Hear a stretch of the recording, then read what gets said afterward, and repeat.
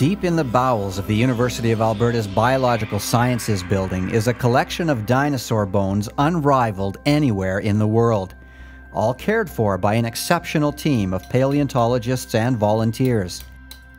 One of the prized specimens in this collection is an 86 million year old pteranodon called Dawndraco kanzai, a giant pelican like creature that once glided along the surface of the ocean hunting for fish.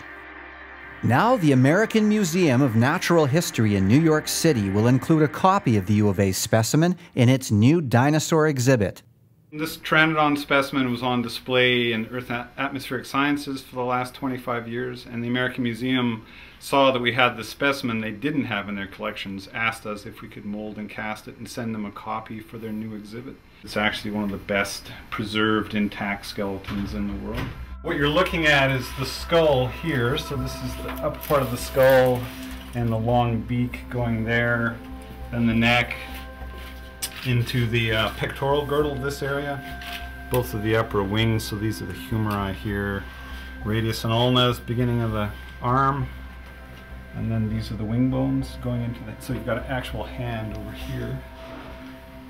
And then the, the pelvis is over here and the femurs and then the feet. This is one of the one of the feet on the toes there.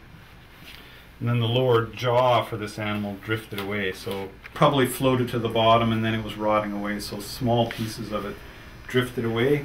So the lower jaw had obviously drifted away from the main body. The theory is this flying reptile sank to the bottom of the ocean when it died and was buried in a seabed deposit.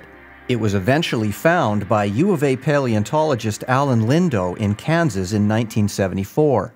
Coy made a mold of the specimen, filling it with a resin like material used in Hollywood to make masks.